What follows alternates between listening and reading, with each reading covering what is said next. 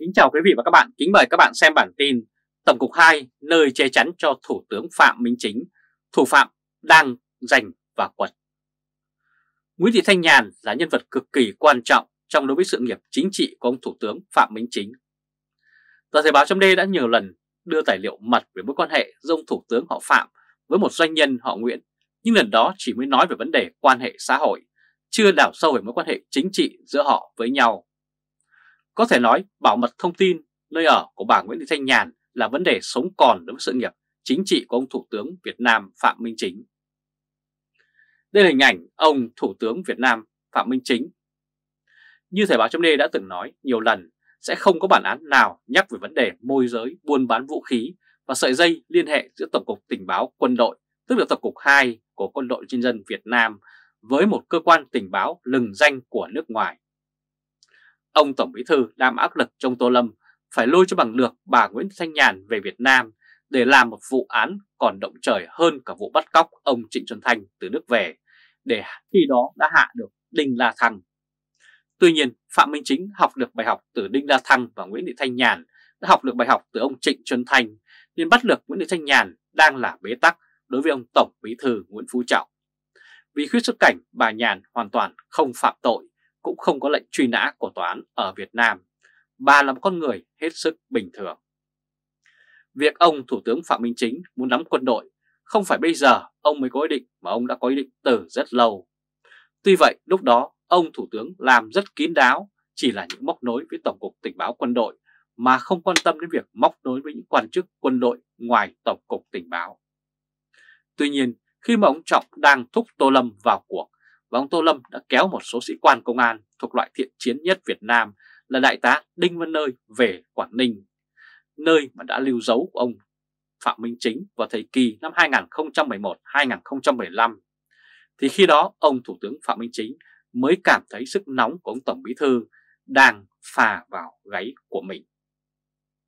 Thực ra, dự định chuyển ông Đinh Văn Nơi ra Quảng Ninh đã được ông Bộ trưởng Bộ Công an Tô Lâm lên kế hoạch từ cuối năm 2021.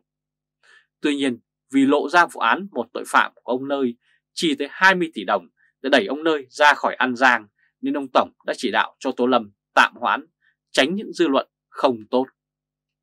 Thực ra, việc có kẻ chi 20 tỷ đồng để đẩy ông Nơi đi là sự thật. Nhưng họ muốn đẩy ông Nơi đi rời An Giang, chứ họ không đủ tiền chi cho việc ông Nơi sẽ đến đâu, bởi điều đó là vô ích với họ. Đây là hình ảnh Nguyễn Thị Thanh Nhàn nhân tố quyết định cán cân quyền lực giữa các phe phái trong đảng hiện nay. Gốc rễ là bà Nguyễn Thị Thanh Nhàn gần như quen hết những quan chức cộng cán trong Tổng cục 2, Tổng cục Tình báo của quân đội như Phạm Ngọc Hùng, Lê Quang Minh và thậm chí bà Nhàn còn có quen với cựu Tổng cục trưởng Tổng cục 2 Nguyễn Chí Vịnh. Có thể nói cơ quan đầu não của Tổng cục 2 đều có mối quan hệ thân hữu với bà Nguyễn Thị Thanh Nhàn. Được biết bà Nguyễn Thị Thanh Nhàn là đầu mối cần những đồng tiền, lại quả của phía bán vũ khí, rồi đem về Việt Nam phân chia lại cho các quan chức của Tổng cục 2. Vì thế nên tiếng nói của bà Nhàn là cực kỳ có ảnh hưởng đến cục này.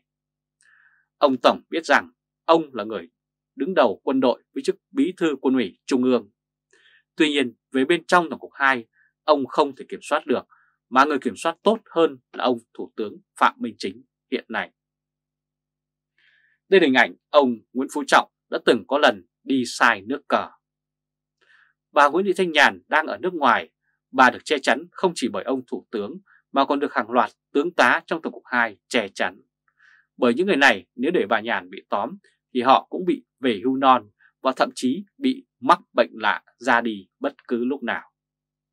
Cho nên Tổng cục 2 hiện nay đang là thành trì rất mạnh trong Thủ tướng Phạm Minh Chính vì họ bảo vệ ông Thủ tướng, bảo vệ bà Nhàn cũng là bảo vệ chính họ. Có lẽ ông Tổng Trọng bây giờ đã hối hận vì ông đã cho giải tán Tổng cục Tình báo của Bộ Công an, hay còn gọi là Tổng cục 5. Có lẽ ông Tổng đã quá tự tin là ông nắm được Tổng cục 2 là đủ. Nhưng ông không thể ngờ Tổng cục 2 lại không thuộc về ông, mà thuộc về kẻ khác. Và giờ đây ông đang cố giật lại. Nếu ông giật không được thì biết đâu ông Thủ tướng lại dùng cơ hội hội này để quật lại ông thì thật rất khổ. Mọi khả năng đều có thể xảy ra, không biết thế nào, nhưng chính trường Việt Nam thì đầy bất ngờ Kính chào quý vị và các bạn, kính mời các bạn xem bản tin Thành trì bê tông mác cao của Thủ tướng Chính phủ cứng thế nào? Chấp Đinh Văn Nơi húc đầu vào hay không? Như tờ Thể báo chấm đã nói về những sợi dây liên hệ của Thủ tướng Chính phủ với địa phương và Trung ương trong hồ sơ mật trước đây. Bây giờ, nhân dịp ông Linh Văn Nơi được điều ra Quảng Ninh đánh án, Thời báo chấm sẽ phân tích thêm những tình tiết mới xem khả năng ông Linh Văn Nơi có làm được gì ông Thủ tướng Chính phủ hay không. Hiện nay có nhiều đầu mối liên quan đến ông cựu bí thư tỉnh ủy Quảng Ninh nhiệm kỳ 2011-2015 đang được công an khai thác. Trong đó có một vụ là chính Bộ Công an thụ lý và Công an Quảng Ninh đóng vai trò hỗ trợ đó là vụ công ty IC của bà Nguyễn Thị Thanh Nhàn đấu giá vật tư y tế tại Bệnh viện Nhi Quảng Ninh vào năm 2012 và vụ án Phạm Hồng Hà, cựu Chủ tịch Ủy ban Nhân dân thành phố Hạ Long. Đây là hình ảnh ông Thủ tướng Việt Nam Phạm Minh Chính hiện nay. Hiện tại còn nhiều đầu mối liên quan đến ông cựu bí thư tỉnh Quảng Ninh nhiệm kỳ 2011-2015 được thanh tra chính phủ nhiệm kỳ 2016-2021 Lê Minh Khái nắm rõ. Tuy nhiên, khi ông Phạm Minh Chính lên làm thủ tướng, ông Chính đã kéo Lê Minh Khái về làm phó cho mình. Mục đích là để cho đóng băng những gì mà thanh tra chính phủ nhiệm kỳ trước đã nắm được. Lẽ ra nếu ông Trọng kéo ông Lê Minh Khái về Ủy ban Kiểm tra Trung ương ở Đại hội 13, thì giờ đây những sai phạm của lãnh đạo tỉnh Quảng Ninh nhiệm kỳ 2011-2015 đã nằm trong tay ông Tổng. Dù vậy, ông Tổng đã không làm được điều đó, mặc dù là ông Tổng đang rất mạnh. Việc ông Tổng không kéo được Lê Minh Khái về ban bí thư của ông cũng có nguyên nhân của nó. Bởi ông Khái đã trưởng thành từ nhóm lợi ích miền Nam, có quen biết với ông Ba Dũng, thấy ông Dũng làm thủ tướng. Mặc dù nhiệm kỳ 2016-2021, ông Lê Minh Khái vừa là Tổng Thanh tra Chính phủ, vừa có chân trong ban bí thư của ông Tổng, nhưng đến đại hội 13, ông Lê Minh Khái chọn về dưới trướng của Phạm Minh Chính thay vì ở lại ban bí thư phụ tá tiếp cho ông Tổng. Việc ông Khái về làm phó trong thủ tướng cũng là cách ông Chính thừa hưởng được mối quan hệ từ thời ông Dũng để lại. Đây là hình ảnh Phó Thủ tướng Lê Minh Khái. Như vậy, ông Lê Minh Khái về làm phó trong Phạm Minh Chính khiến ông Chính có thêm một thành trì vững chắc. Những gì liên quan đến sai phạm của lãnh đạo tỉnh Quảng Ninh nhiệm kỳ 2011-2015 đã được ông Khái cho vào hộp đóng kín, thì giờ đây ông Trọng muốn khui ra lại phải bắt đầu từ con số 0. Ông Nguyễn Phú Trọng có đến hai công cụ để khui ra những gì liên quan đến lãnh đạo tỉnh Quảng Ninh nhiệm kỳ 2011-2015, đó là Bộ Công an và Ủy ban Kiểm tra Trung ương. Bộ Công an thì có Tô Lâm là như mọi người đã biết, ông Tô Lâm đã điều một dũng tướng làm cho ngành công an là Đinh Văn Nơi về phụ trách ở Quảng Ninh. Riêng ông Trần Cẩm Tú, chủ nhiệm Ủy ban Kiểm tra Trung ương, lại là người đang hợp tác với ông Thủ tướng Chính phủ để liên minh tạo ra thế lực Hà Tĩnh, Thanh Hóa để nâng đỡ nhiều quân chức của hai địa phương này về Trung ương. Như vậy, ông Trần Cẩm Tú có thể nhiệt tình cho ông Tổng điều tra những cá nhân nào khác, nhưng ông sẽ không nhiệt tình trong nhiệm vụ điều tra ông Thủ tướng thời làm bí thư tỉnh ủy tại Quảng Ninh. Giám đốc Công an tỉnh Quảng Ninh Đinh Văn Nơi, đây là hình ảnh của ông. Theo thông tin chúng tôi nhận được từ tài liệu mật, con số mà ông Chính lấy từ các doanh nghiệp nằm ở con số trung bình khoảng 30%.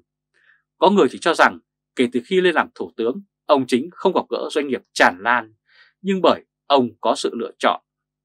Đây là những đầu mối quan trọng để ông Đinh Văn Nơi khai thác tiếp tục. Tuy nhiên, ông Phạm Minh Chính rời ghế bí thư tỉnh đến nay đã 7 năm, thời gian khá lâu nên manh mối cũng phai đi rất nhiều. Đấy là cái khó cho ông Đinh Văn Nơi. Nếu muốn có những thông tin hữu ích thì ông Nơi cần tìm ông Lê Minh Khái hỗ trợ. Tuy nhiên, việc này liên hệ với ông Lê Minh Khái để được hỗ trợ thì xem như bất khả thi. Thành trì của ông Thủ dựng lên đang hết sức vững chắc, vững như bê tông mác cao vậy. Và câu hỏi là liệu ông Đinh Văn Nơi có dám húc đầu vào hay không?